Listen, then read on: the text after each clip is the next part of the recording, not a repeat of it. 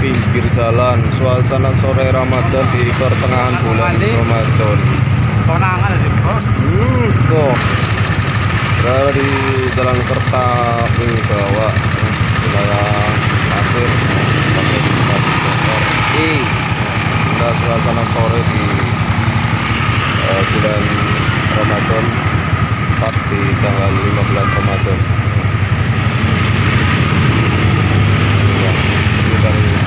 sebelah selatan.